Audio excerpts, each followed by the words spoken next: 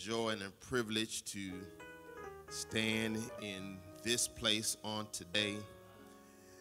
It was no no hesitation when Bishop um, called me and asked me if I would come on today.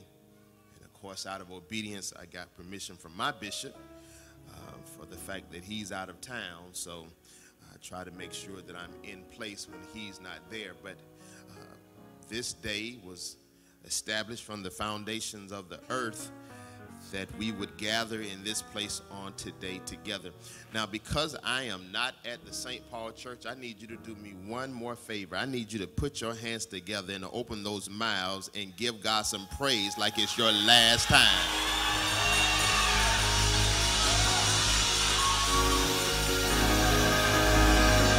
We bless his name. We bless his name. We bless his name. We bless his name. We bless his name. We bless his name. We bless his name. God is good and he's worthy to be praised. How many of you know if it had not been for the Lord on your side? How many of you know God has been providing for you when you couldn't provide for yourself? How many of you know God has been making a way for you when you couldn't even see the end of the road? How many of you know God is a healer this morning? Hallelujah. Hallelujah. Hallelujah. Hallelujah. Oh, my, my,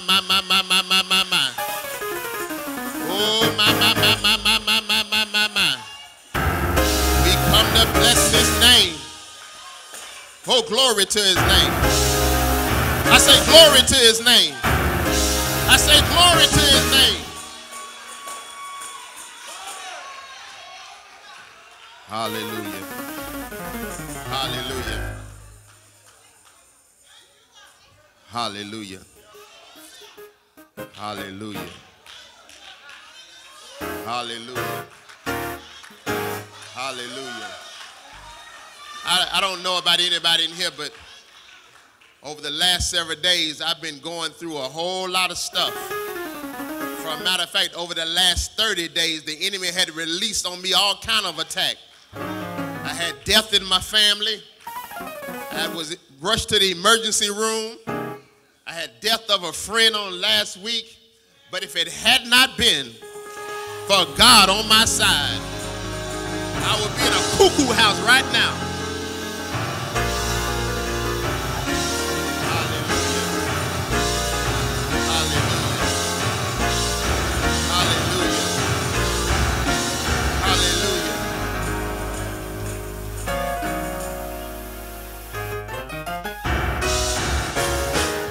God, we thank you on this morning.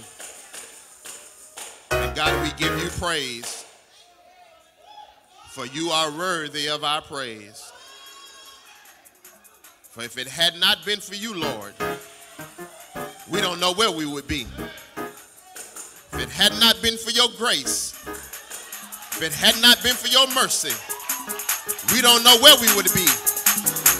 But because of who you are,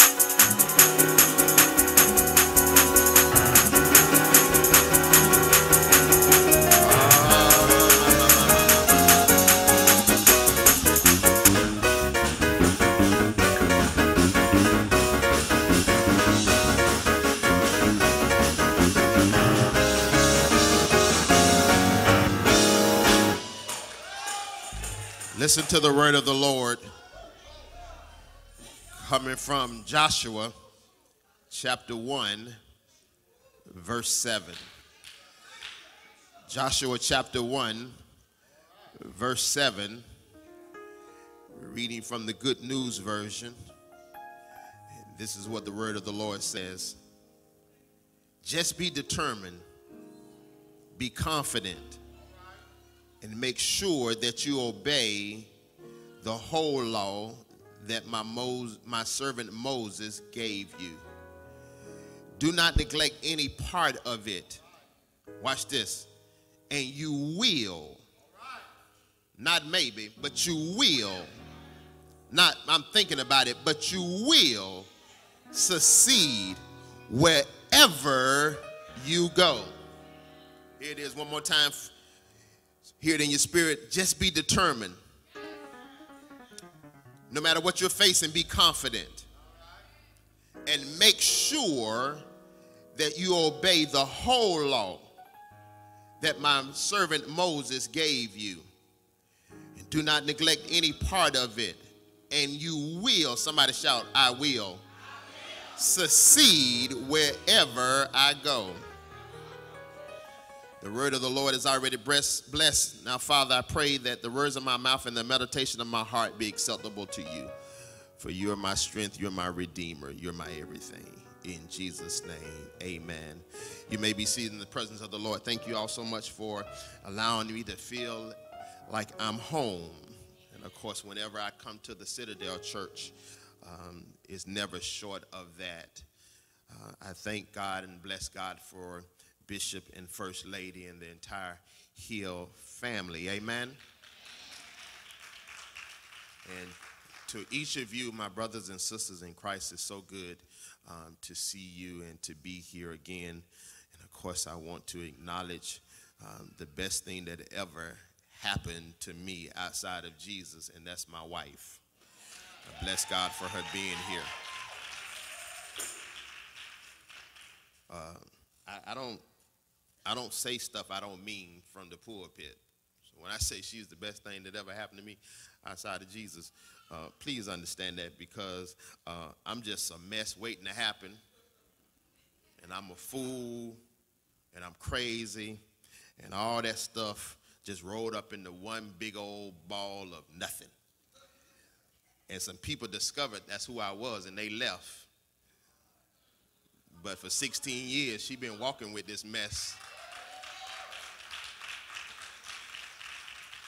For a matter of fact, when we um, when I told her that God told me that I was supposed to marry her in the 12th month and on the seventh day, and um, when we got married, I told her, I said, now listen, here is, here is what's going to keep us. Do not put all your trust in me. Because I'm, again, I'm serious. I'm a mess waiting to happen. Right? I have some issues and always been saved. I was I was born with a calling, but I wasn't always saved and preaching.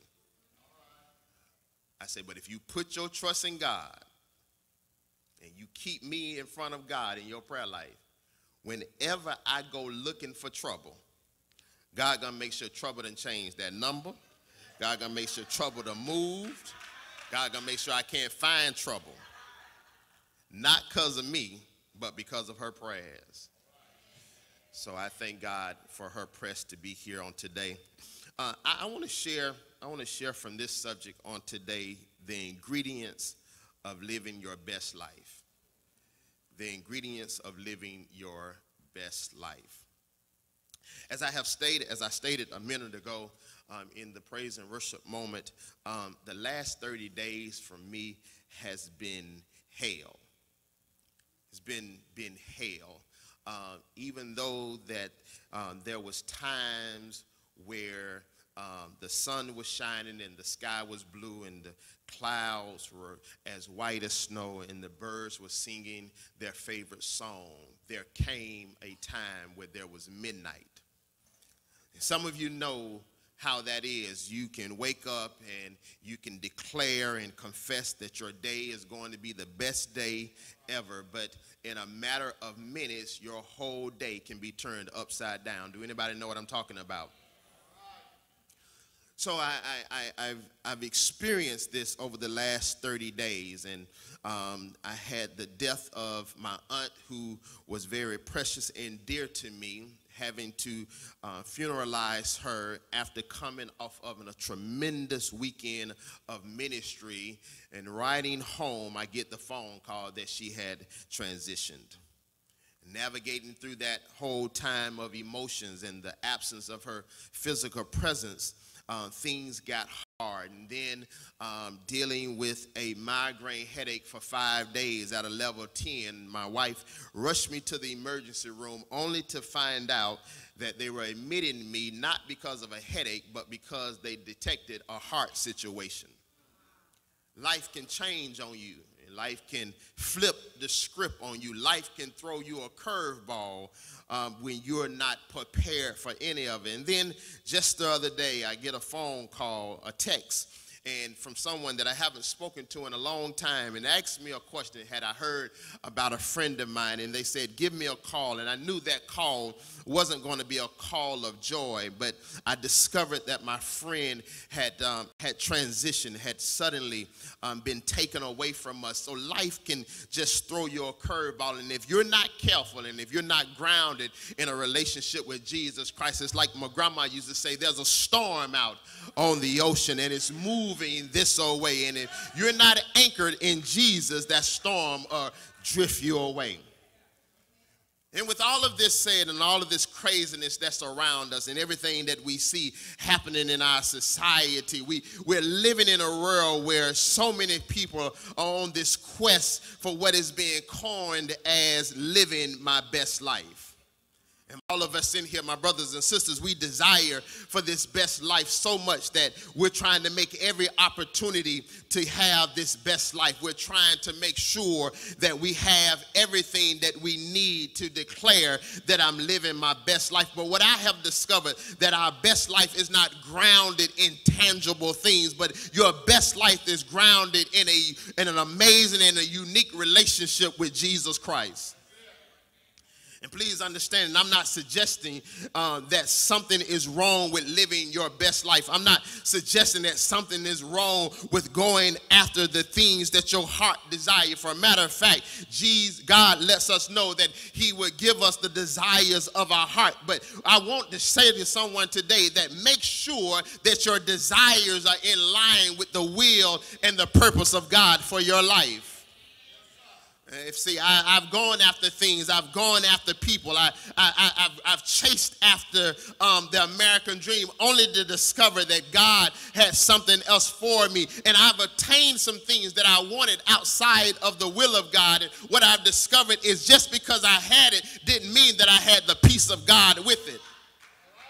Some, some of you chase relationships and some of you are praying for a companion or a mate. I want to say, suggest to you that what you need to pray for is that God will reveal to you his will and purpose for your life and who fits in that.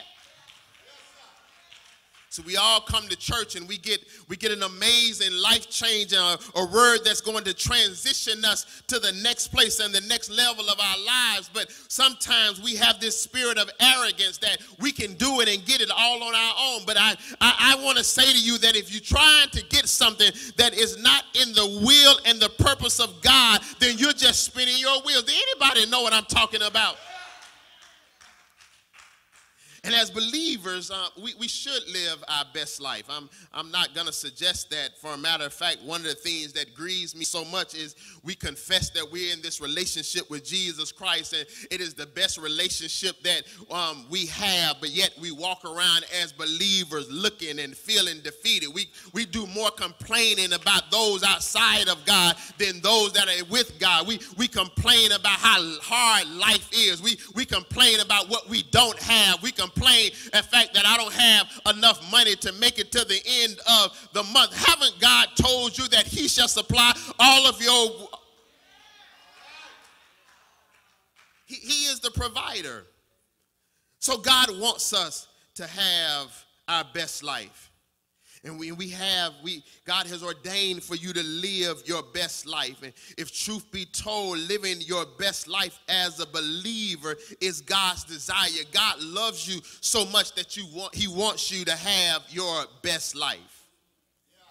And why do I say this? Because Jesus said that I have come that you may have life and have life more abundantly. If you're going to have the best life, you're going to have everything that God has for you. Living your best life starts with you understanding that God desires for you to have a best life.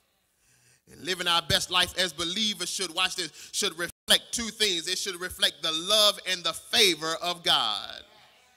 See, when, see, when people see you living your best life, when people see that um, you're walking in the joys and the peace of God, they, they, they're going to want to know how can you be in this place when all hell has broke loose in your life? And the only answer you can give somebody is because I serve a God who loves me. But the Bible says that God so loved the world that he gave his only son.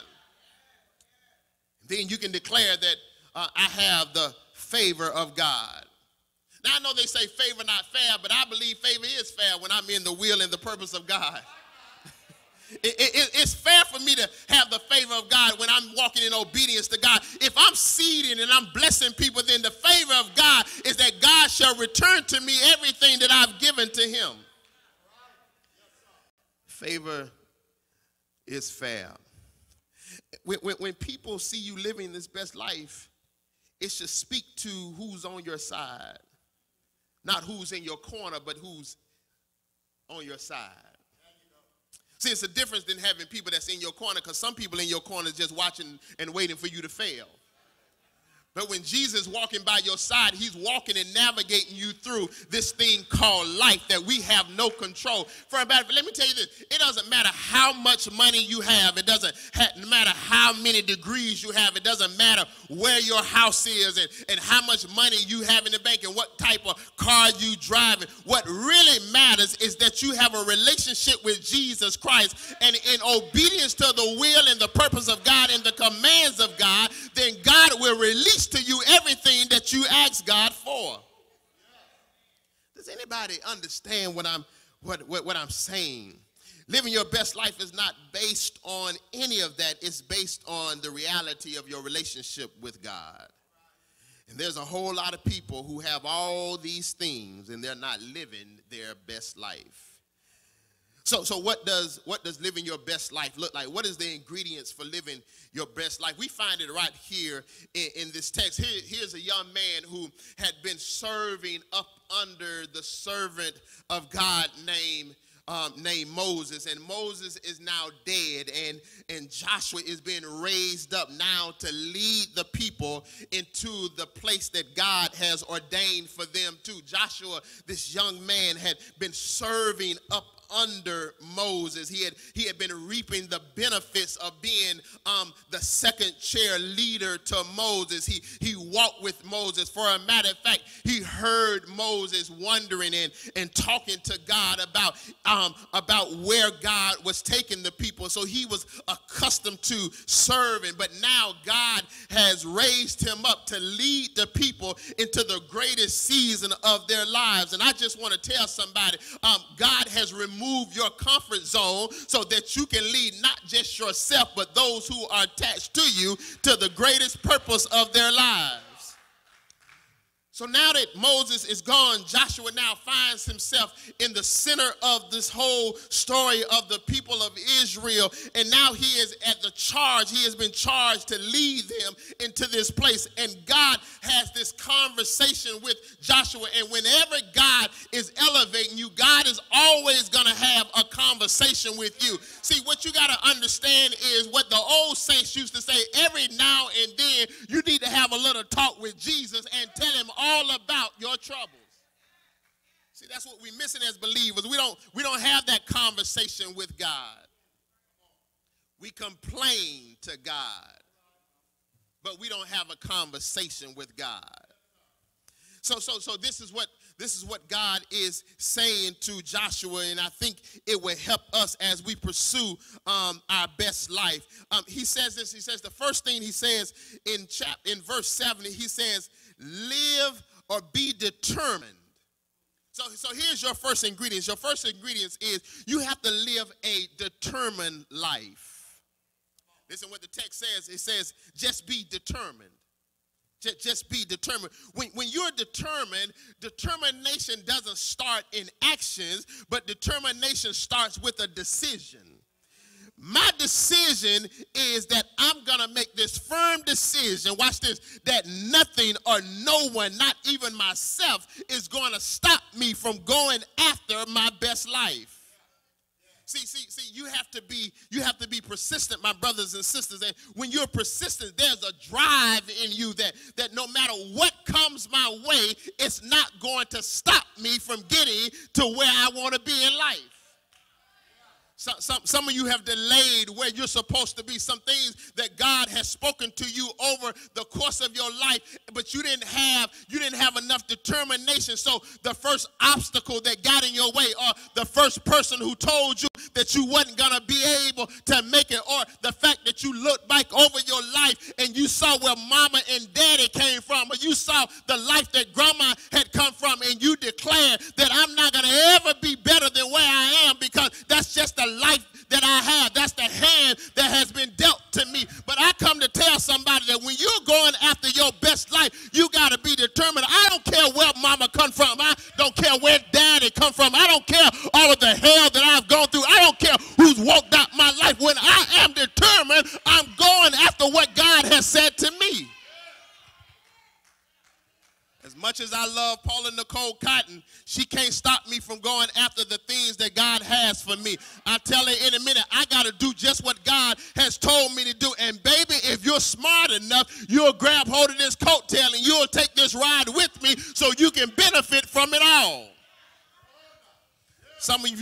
you should have finished school by now, but you've been trying to calculate. You get that calculate that that credit card, and you get that calculator, and you've been trying to add up what you got and what you don't have. Let me tell you something. I got three degrees, and I didn't make no more money until I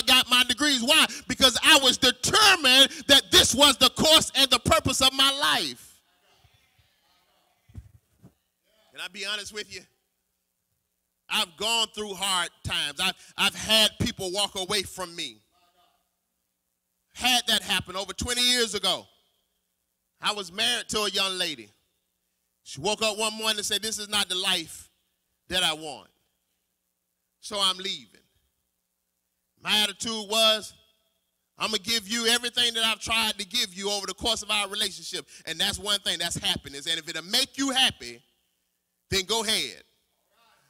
But the enemy played tricks on my mind. The enemy had me one day to get in my suit, my black suit, and put on my white shirt and a black tie. Then lay down in bed next to me was the Bible was on the left and the pistol was on the right because the enemy was telling me that you wasn't gonna make it in ministry. Your ministry life was over. Nobody was gonna want you to come and teach their leaders anything, and you couldn't even maintain your own house. But I heard in the far distance a tape that I had playing by Bishop Eddie Long, who said that I've gone gone through a divorce, but look at me. Here's the truth of the matter. You got to be so determined that no matter who walks out your life, you know that you still got your relationship with Jesus Christ, and that's all you need. You got to be determined and when you're determined, there's three things that comes out of determination. The first thing is that you focus, watch this, on your past success. God always give you a rear view mirror. There's some things that you know in the past that you didn't think that you was going to be able to succeed, but God gave it to you and God gave you the capacity to make it. Well, when you got that type of history in your life, every now and then, you just need to look back over your life and see where God has brought you from. The other thing about determination is you got to have a passion to see yourself win at every level. The challenge that most of us have as believers is we don't have enough passion in us. That passion gives me that tenacity. That, that passion is what wakes me up early in the morning. That passion is what makes me stay up and burn the midnight oil, or so my businesses and my education can be where I need to be. That passion is what makes you get there early and leave later. How do you know you got passion? You know you got passion when you go beyond what everybody else around you is doing. But here's the other thing about passion is passion um, gives you that drive not to quit. Listen, I know it's going to get hard. For a matter of fact, I want to tell somebody. I, I don't want to sugarcoat anyone. I don't want to think, want you to think that going after your best life, um, you ain't going to have no heartaches. You ain't going to have challenges. You're going to have some big challenges. For a matter of fact, the moment you declare that I'm going after my best life is when the enemy is going to show up. See, he been playing with you. He been tapping you on your shoulder. He, he been jigging at you. But the moment you declare that I'm going after my best life, he's coming with the best artillery that he has. But I come to tell somebody that when you have the drive to be successful, you're going to work past it and you're going to get over it. So the first ingredients of living your best life is you have to be, you have to have a determined life. Here's the second thing right here out of our text. The second thing that God tells Joshua is you have to be confident. If you're going to go after your best life, you have to live a life with confidence. And, and what is confidence? Confidence is simply, uh, is simply this. It's about having an attitude that I can achieve the life that God has ordained for me. Yeah, it, it, it, it's about having it's about having that attitude. Confidence is an attitude. Confidence is attitude. Uh, I, I, grew up and people used to always tell me, um, Scott, you're so conceited. I used to say, I'm not conceited, I'm just confident. I, am confident to be a little black boy from the north side of town when teachers in elementary and teachers in middle school and, and even a teacher in high school told me that I wasn't going to graduate and I wasn't going to pass. But I had confidence. Why? Because I knew what was inside of me. I knew I had the capacity to win. I had people telling me over 22 years ago when I started in full-time ministry, man, you ain't gonna, you ain't gonna survive. That church, that church ain't gonna, that church ain't gonna help your life. That man, what you doing? You walking away from a job that's paying you that kind of money just to go into a ministry, and they already told you that they're not gonna be able to pay you what you make on your job, and you still gonna go. Well, here's the truth of the matter. God told me that I never leave you nor forsake you. God told me that He will supply all of my needs according to His riches and glory, and I said to God that if I go work in your kingdom, then anything that I lose is more of a statement of who you are than who I am. So I walked in St. Paul over 22 years ago with the with the confidence swag. I walked in there, never working in ministry before, never even really served in ministry. I went to church like like everybody else. I went as a casual believer. I went, got me a word, and then I would go home and I would get my drink on until Monday morning. And Then I start my whole week. But you know what? When I walked in there to do this assignment for God, I walked in there with confidence. Why? Because the truth of the matter, I lost some battles, but I ain't never lost no wars in my life. So when you have this confident life, it, it's believing in what you can achieve.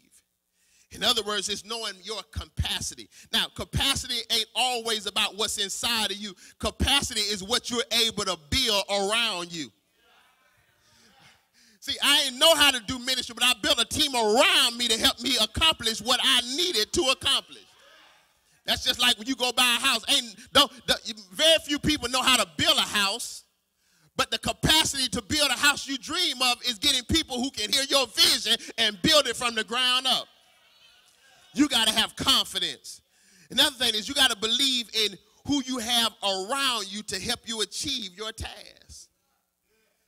Listen, if Joshua was Moses' assistant, don't you think God was going to give him an assistant? Why? Because God already knew that the journey to the promised land and the enemies that was around him was too large for one man to accomplish by himself.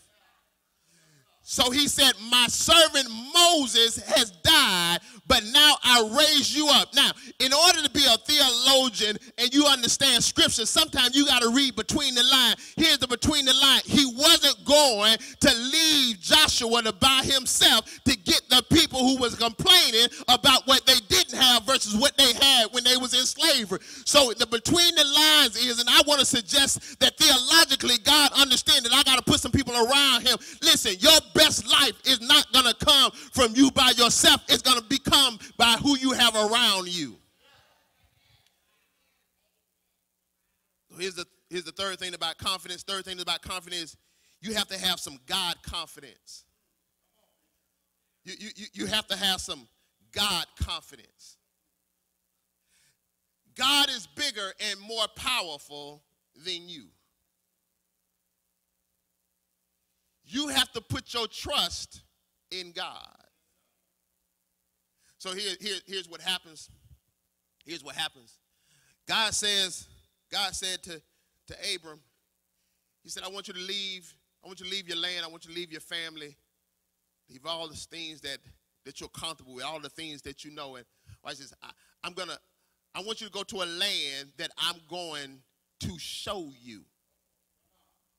I, I, want you to go to a land that I'm going to show you.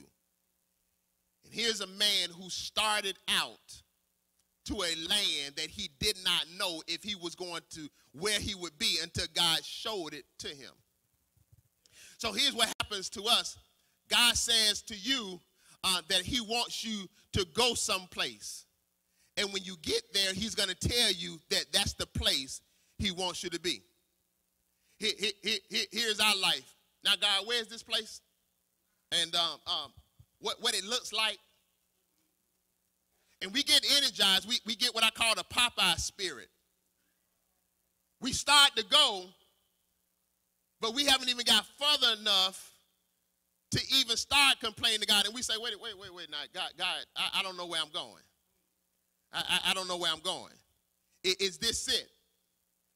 God never said anything, but this is what God did. God provided for him what he needed to get there. God is always going to provide for you what you that's that God confidence. When people tell you you can't do anything, here's your response. You know what? You absolutely right. I can't, but the God that's in me can. Why? Because greater is he that's in me than he that's in the world. Let, let, let, let me, let me move quickly. Move quickly. Here's the third point. Here's the third point. This one is not as spelled out um, in the text like determined confidence, but it's right here. Uh, if you're gonna if you're gonna have the ingredients of living your best life, you have to you have to be living a humble life. Here, here it is in the text. Watch the text. He says, and make sure that you obey the whole law that my servant Moses gave you. All right, preacher? So where's the humility in that? Here it is. How many of you have been given directions to how to get somewhere and you thought you knew a quicker or a shortcut to get there? So when they give you what you need to get there, you throw it out because you said, well, if they never got there, obviously what they're giving me ain't gonna work. Did, did, did y'all miss that? Here, here, here it is. Here it is. Another way. You, you've been praying to God and asking God for a promotion. And the person that is leaving that office sits down with you and give you the ABCs to be successful. But you don't have the spirit of humility so you figured that if you was that good and you did all of this, then why they moving you out the way and they're promoting me? So what you do is you take what they give you and you throw it aside and then you try to recreate the wheel. Baby, you ain't got to recreate the wheel. Just put your custom rims on them tires and ride on out in your success. See, when I was transitioned, when I was transitioned from youth ministry uh, and, and, and my wife, uh, my wife can attest to this. When I transitioned from youth ministry, uh, I had created something that St. Paul had never had before. I created a whole youth ministry manual of everything they needed to do to have a successful youth ministry. Well, two people was um, given responsibility to, to take over our youth ministry. And the night that they had a celebration for me, I walked up to them. I gave them a copy of my notebook. Mm-hmm. A copy. I still got the original one um, in my house. I still believe that it works even now. Uh, I gave them a copy. I put it in a nice notebook and I say, here is everything you need to run this ministry successfully. And guess what? They put that thing to a side and they tried to do their own thing. And before long, the whole thing started falling apart. But here's my humility. I didn't let them fail. I stepped back in and asked them, what do you need? They say, we need to know how you did this and how you did that. I say it's all in the manual that I gave you. Don't make your life hard because you don't want to follow the example of somebody else.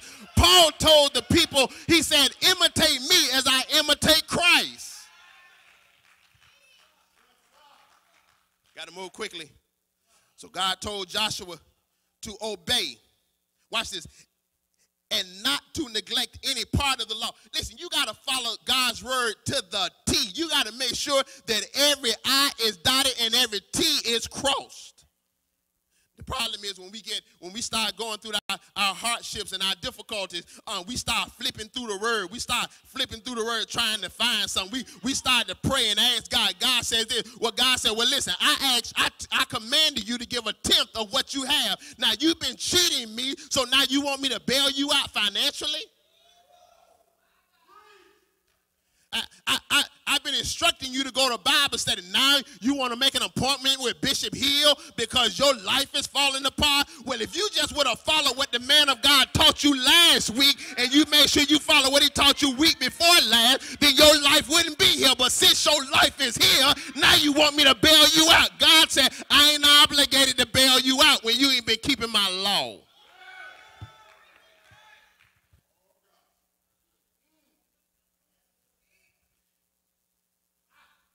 One of my multi, one of my multiple stream, my multiple streams of income is credit repair, and the company I'm with have a very clear system.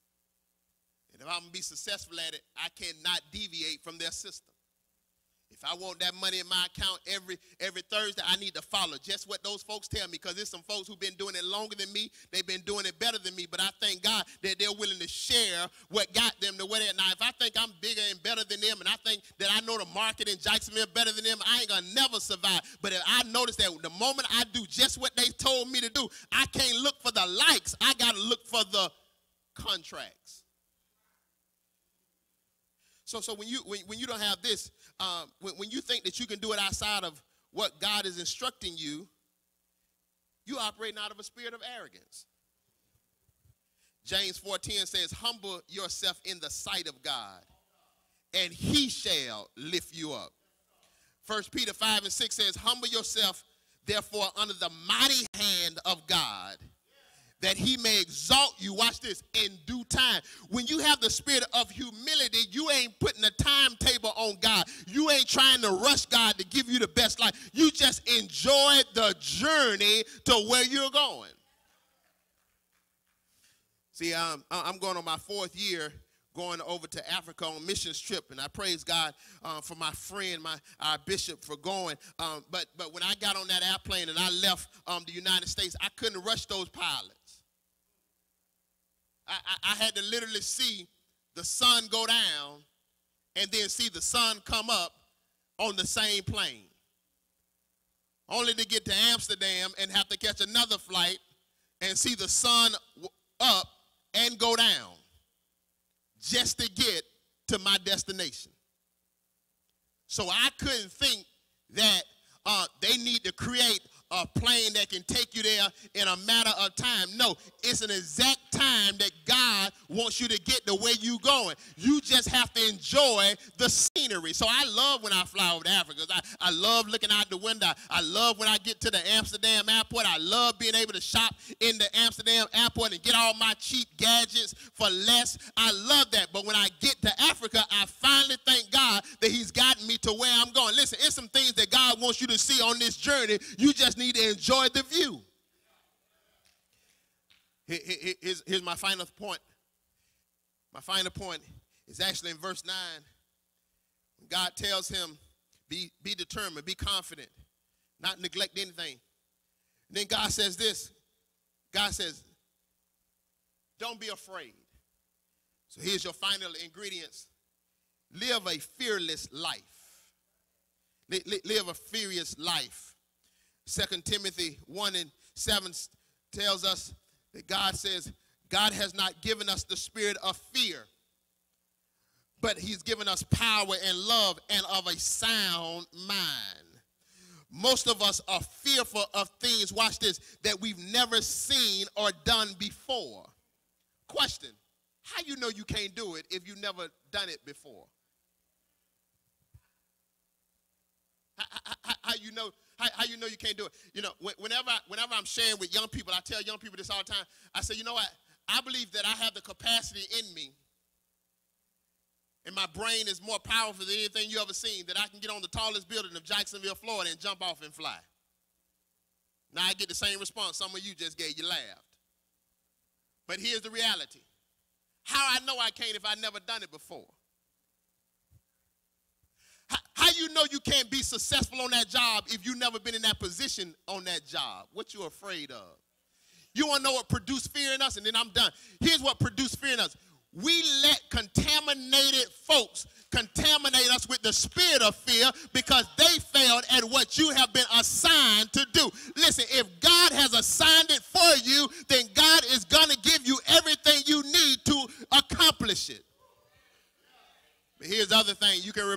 from. You can remove fear when you surround yourself with people who has accomplished what you want to accomplish. Listen, I ain't trying to be funny, but out of 300 leaders from around the world to get on a monthly call with John Maxwell that I literally pay this man $29 a month. You want to know why? Because John Maxwell has achieved some things in leadership that I believe I'm ordained to achieve. So why get fearful because I don't know how to do it when I can surround myself with somebody and I can ask somebody a question who has already done it. You ain't got to be afraid to live your best life. Why? Because Jesus Jesus has already taught us how to live your best life. What is that best life? They can crucify me on Friday. They can put me in a borrowed tomb on Friday, and I can stay there all day long. But here it is. When God decides on Sunday morning, He's going to raise you up to live your best life. Some of you ought to just get excited that God has already ordained for you to live your best life. Don't you be afraid of who walk away. Don't you be afraid of losing anything. You have already lived your best life through Jesus Christ.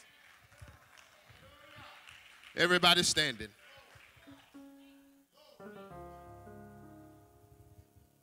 That's the best little preacher from the north side can come over to Arlington and then do. I ain't Bishop Terry Hill. But that's what God told me to share.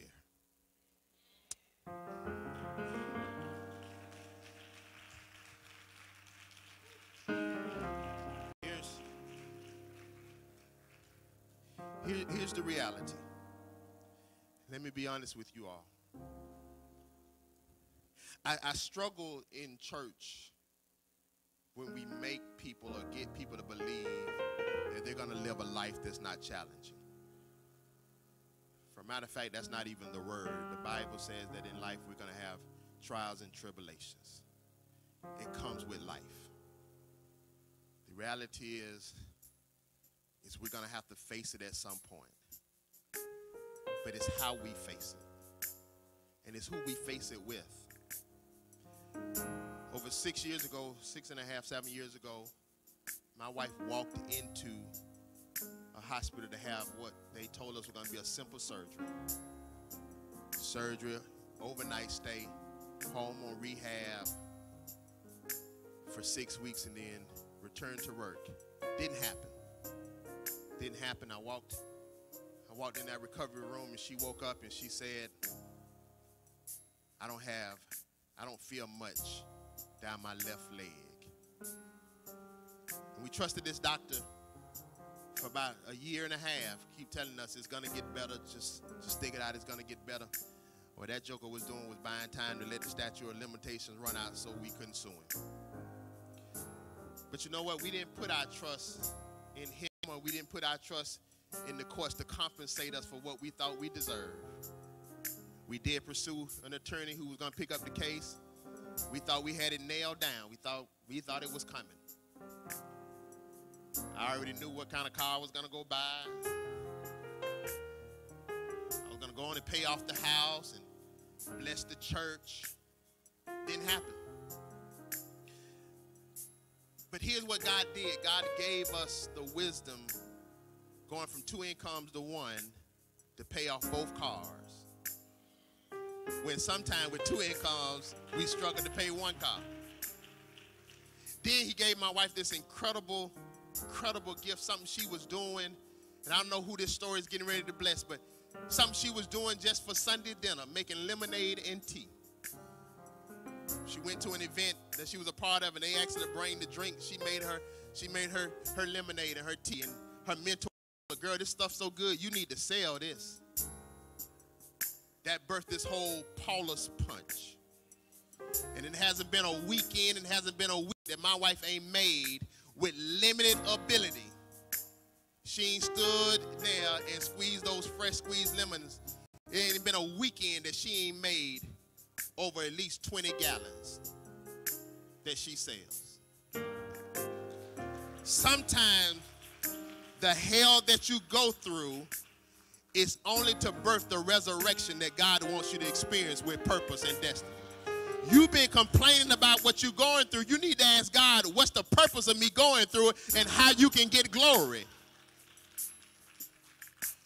So we believe in that manifestation of healing is going to come, but until then, our suffering is for his glory.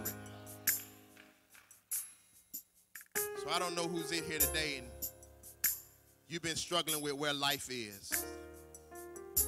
Life has thrown you some curveballs and you've had people to walk out your life and leave you. Things have happened. Here's what I want to say to you today that the only way for you to maintain who you are in God is to be in relationship with God. I want to invite you now to one of the most amazing persons that can give you the most amazing relationship that you ever had. And his name is Jesus Christ.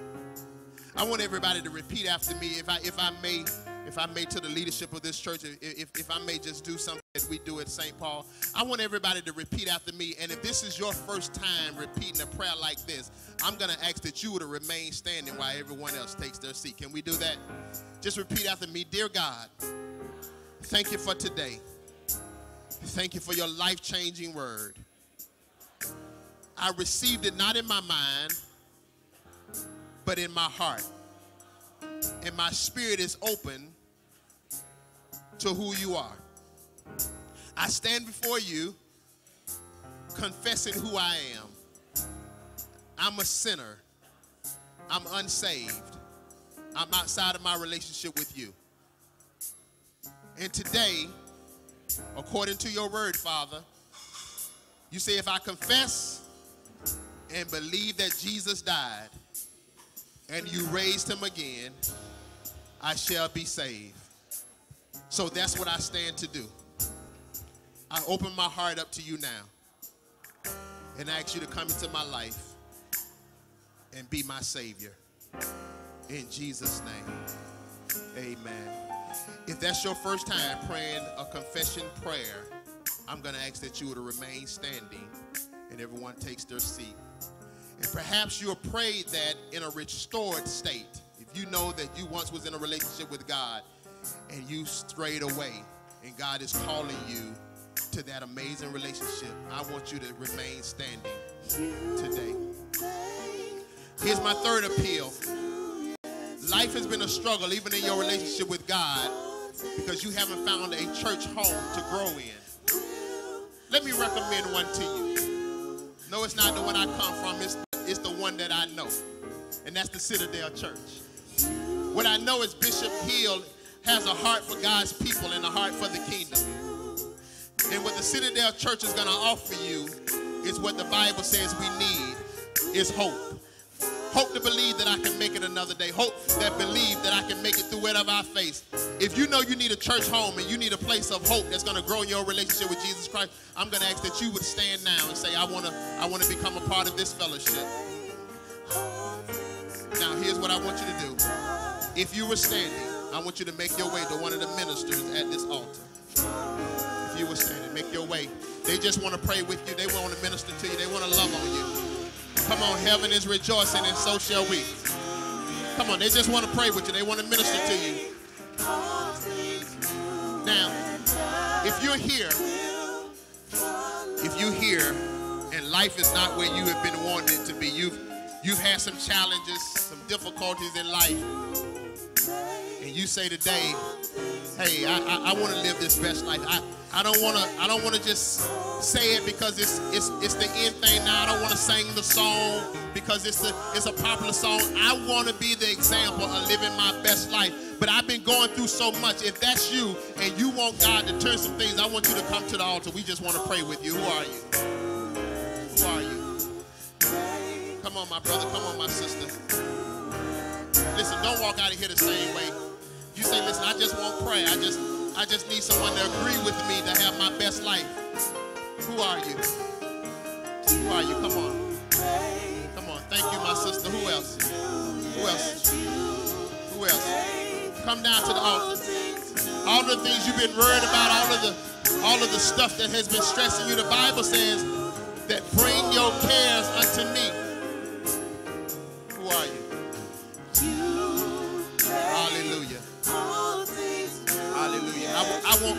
Life and all kind of stuff has been happening. I want to live out the will and the purpose of God. Who are you? Come on. All right, listen. Listen. I don't I don't want to change protocol, but I do understand that sometimes it's difficult to make that public confession and that public walk. But I believe in invitation. I listen. If I don't have a time restraint, I do a longer invitation than I preach His word. I believe in fishing. He calls us to be fishermen, fisher of men. I believe in going after souls. But with due, all due respect to the house and the time, here's here's what I would suggest to you.